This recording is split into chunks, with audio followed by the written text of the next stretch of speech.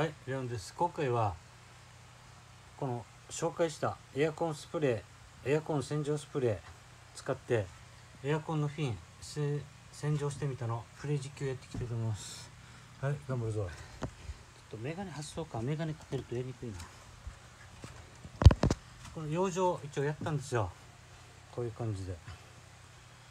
養生やったんだけど、このぐらいやってちょっと離してからやるんでな。これ5回ぐらい振った方がいいですね。ここから。こういう感じでね。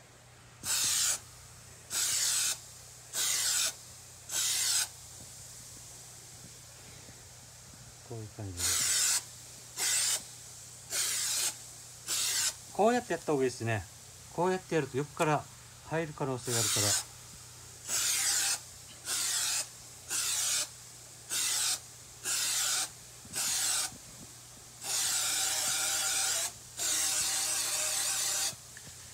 まあ時々振りながらね。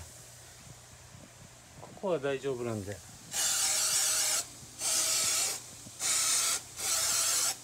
結構汚れが。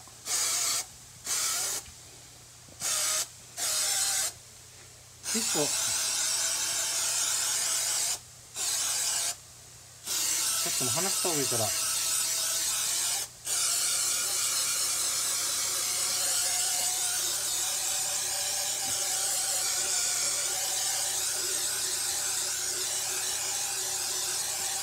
2本使うからね。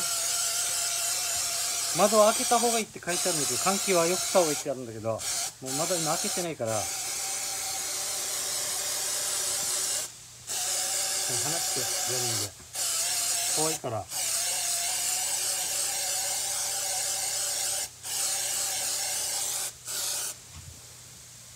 この辺りも。ちょっと疲れるんですよ。片手でやってるから。マスクほんとやった方がいいけどね。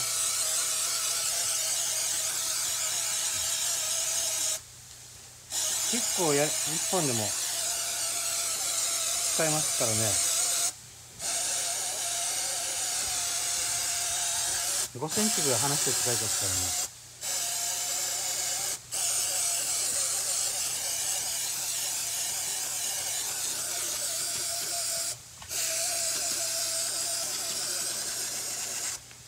もうちょいでなくなると思うんで。危ないわ。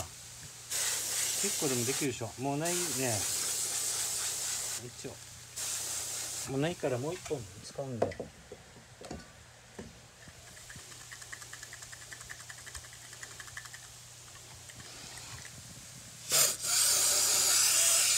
上の方もちょっと重点的に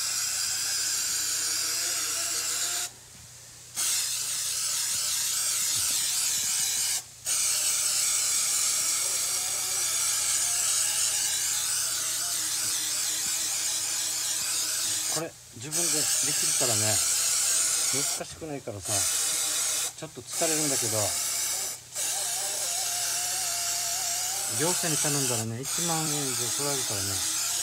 業者によって2万円とかあるんじゃないですか3万円もあるか分からんけど。エアコンの大きいやつとかあったらそんだけ料金がかかるっていうことだから。俺の6畳俺なんか6畳8畳だったかな。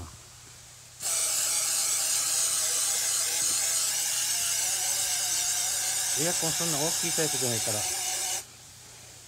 家が大きければそんだけ部屋も10畳とか12畳とかあったらさらにこのその12畳とか10畳とか12畳に対応したエアコンが必要になるからね。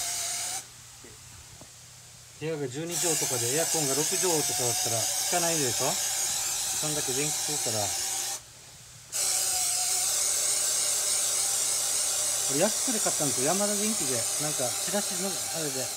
買ったんじゃないかな。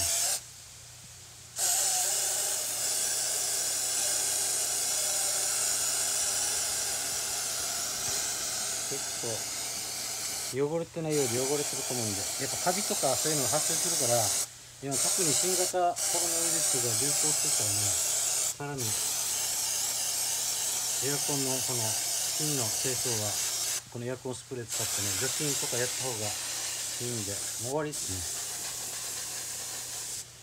ねでね終わるとさあのちょっとちょっとに行くんだけど排水ホースから今スプレーかけたちょっとち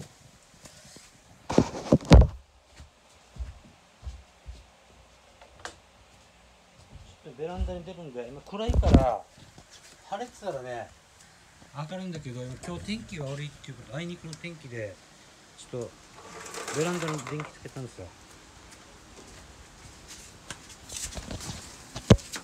ちょっとどう？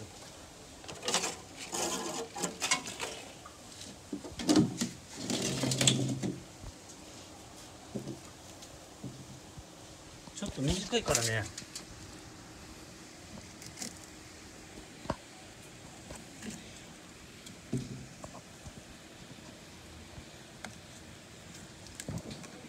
これなんだけどこれが排水ホースになってるけどちょっと時間経たないと出てこないのかな？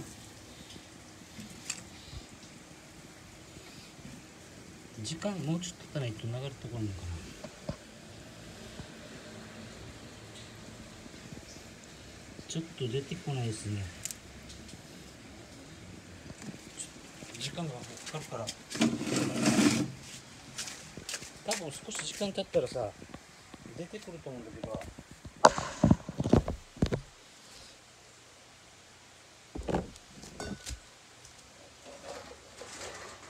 ょっとまず開けとこうか。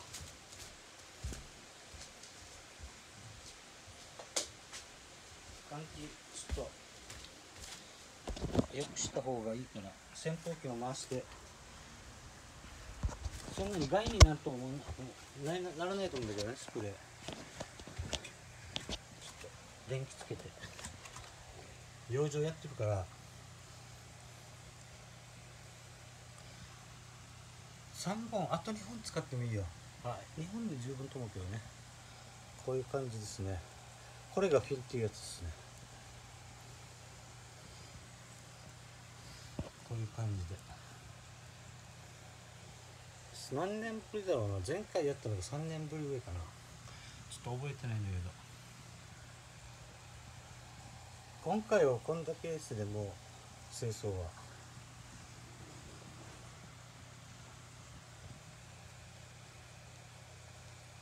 はいこういう感じで養生もしっかりやって。